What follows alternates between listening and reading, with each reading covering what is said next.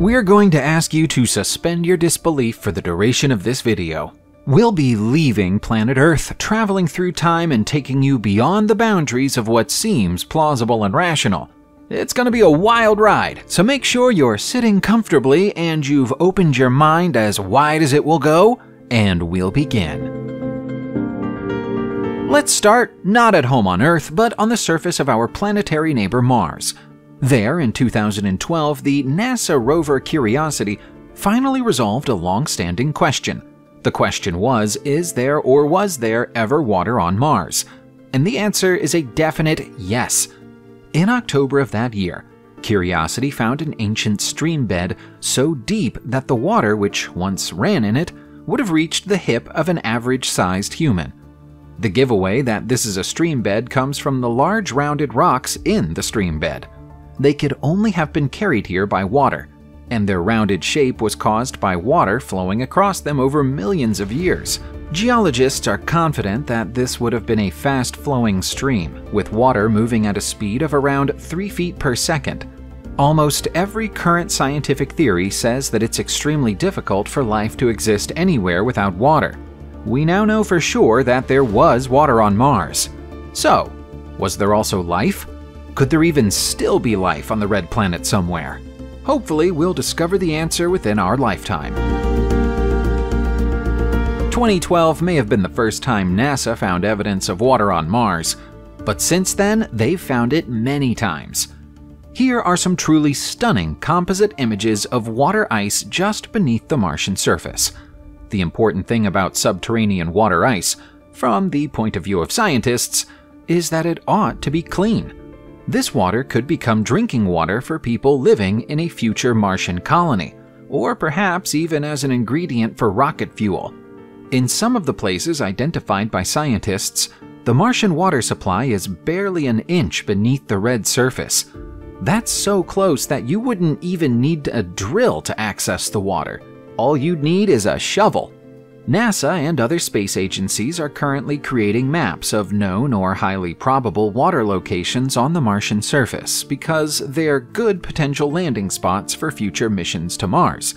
Having a reliable supply of water is likely to be the difference between life and death for the first humans to land there. So it's to be hoped that the experts are certain that all of these sites contain water, and not some other non drinkable liquid we'll reluctantly move on from Mars now, but not without taking a look at some of the latest and greatest images of the planet's surface. In 2021, the Chinese National Space Administration successfully landed a spaceship on Mars and deployed its Zhurong rover. It landed in an enormous lava plain called Utopia Planitia and is tasked with finding signs of ancient life. It hasn't found any yet, but it's obvious that its cameras are in perfect working order. These photos are beautiful. The Chinese Space Agency is normally secretive about its operations, so it's a rare treat that they decided to share these images with the world. Whether or not they'd let the rest of the world know if they did find signs of life is another matter, but at least we can enjoy these high quality images while we're waiting to hear further news. The initial expectation of Zhurong is that it would remain viable for only 90 days after arriving on Mars in May 2021, but it's still functioning as of the beginning of March 2022. It should still be running on the first anniversary of its landing and may even go on long beyond that. Who or what was the Blackbird of Chernobyl, sometimes also known as the Mothman of Chernobyl? Many workers at the site claim to have seen an unexplained object in the sky immediately prior to the 1986 nuclear disaster, and some even claim to have taken pictures of it. Descriptions of the object provided by the supposed eyewitnesses are all similar when it comes to details. They say that they saw a creature with large wings and two legs, almost as if it were a person. Some of them claim that the figure had no head, but there seems to be a head in these allegedly genuine photographs. According to conspiracy theorists, the creature in the pictures is similar to a legendary figure known as Mothman. Mothman was a pop culture phenomenon in the United States of America between 1966 and 1967. appearing for the final time before the sudden and unexpected collapse of the Silver Bridge, resulting in the loss of 46 lives. Who or what is the Blackbird of Chernobyl? Is it a shared hallucination, a harbinger of doom, or something else entirely?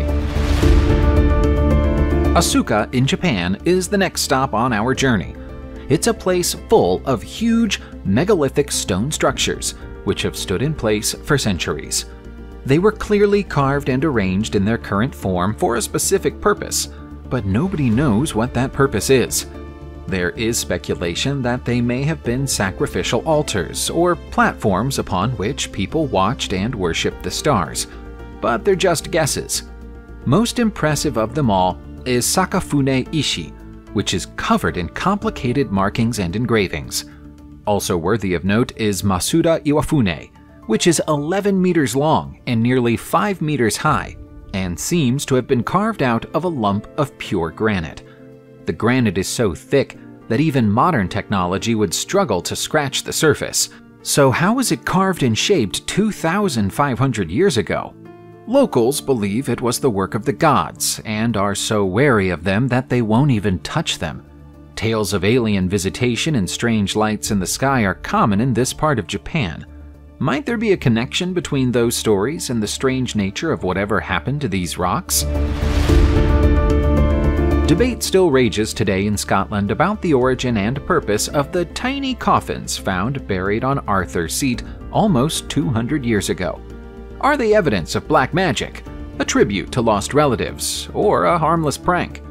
The 17 miniature caskets were found by schoolboys on the slopes of the extinct volcano near Edinburgh while they were out hunting for rabbits in the summer of 1836. Someone had gone to great trouble to create and arrange them. They're all hand carved from pine wood, all contain a tiny wooden body, and were arranged carefully in two rows of eight with the 17th figure balanced on top, separated by a piece of slate.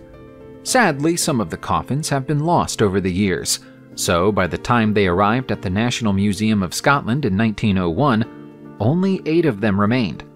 At the time of their discovery, it was feared that they were voodoo dolls used in witchcraft, but that seems unlikely. Could there be a connection between the facts that there were 17 of them originally and that Burke and Hare, who were active at the time, claimed 17 victims. It's possible. The Loch Ness Monster probably doesn't exist and probably never did. But where did all of those stories and legends come from?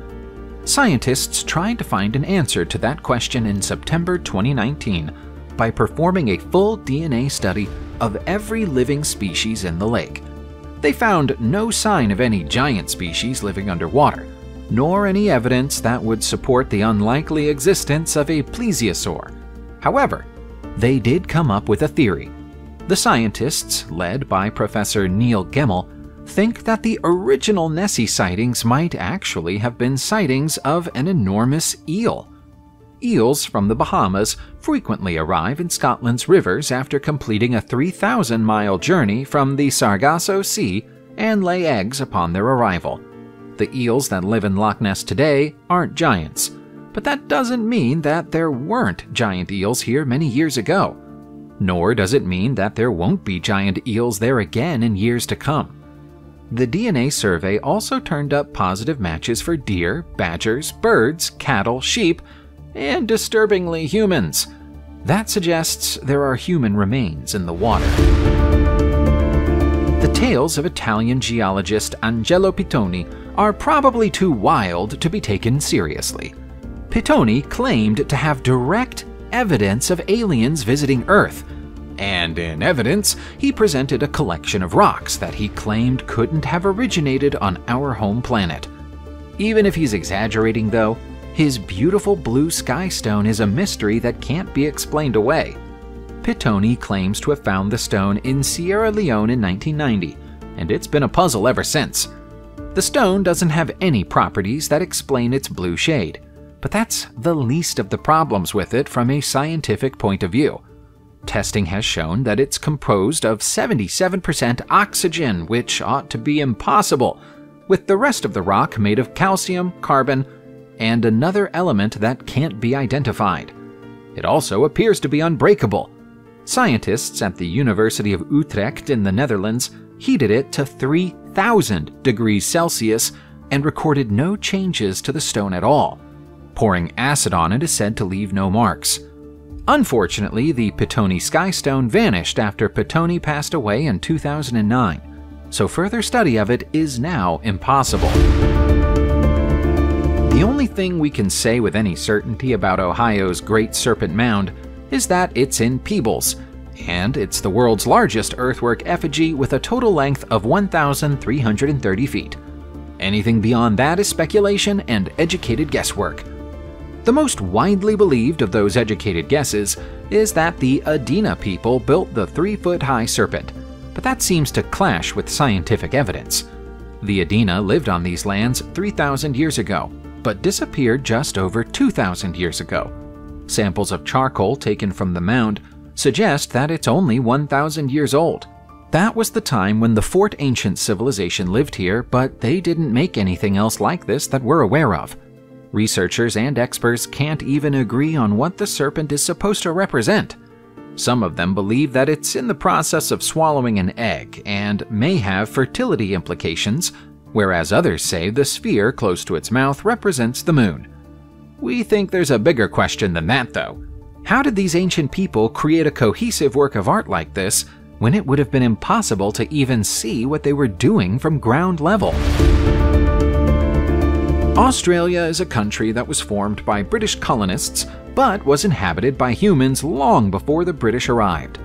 Aborigines lived in Australia as long as 4,000 years ago, and they created the Wandjina rock art that can be found across the Kimberley region of the country. The Wandjina, also known as Gulingi, are Australian Aboriginal mythology's cloud and rain spirits. They're linked to Wongur, a rainbow snake thought to be the creator of all life on Earth by several Aboriginal tribes. Because this portion of Australia was emerging from a drought that had lasted almost a thousand years when these paintings were produced, rain spirits were extremely important to these early Aboriginals. When the drought eventually ended, persistent monsoons took their place. These people must have thought the sudden arrival of so much rain was a miracle which explains their intense loyalty to these mythological figures. The living descendants of these tribes hold them in such high regard that they are still repainted every year. The origins of the snake creator theory, though, are unknown even to them. Our next mysterious site is known by many names, including Zorat's Karer and Karahunj. However, it's better known by its nickname, which is the Armenian Stonehenge. In truth, though, it doesn't look much like Stonehenge. In form and appearance, Karahunj in Sisian is a ring-shaped arrangement of menhirs with holes drilled into them. Archaeologists and historians have speculated that this may have been a prehistoric astronomical observatory, but that's little more than a best guess. Far more evidence would be required to support such an assertion.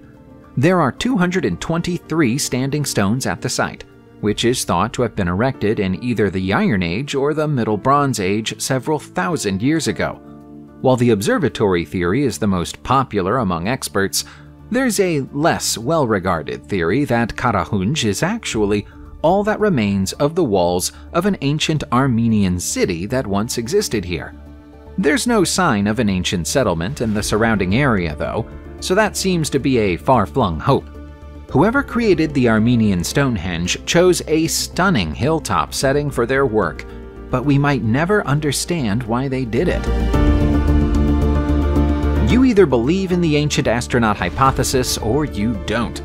Either you find the thought of people from outer space or the future visiting our ancient ancestors thousands of years ago fascinating, or you think it's absurd.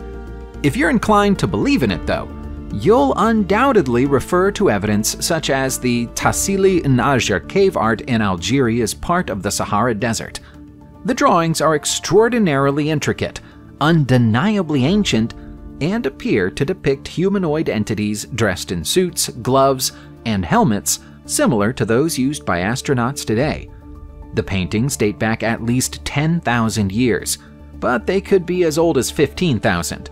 Everything else on the walls of the caverns, from animals to mountains and rivers, appears to have been inspired by things the artists would have seen in their daily lives.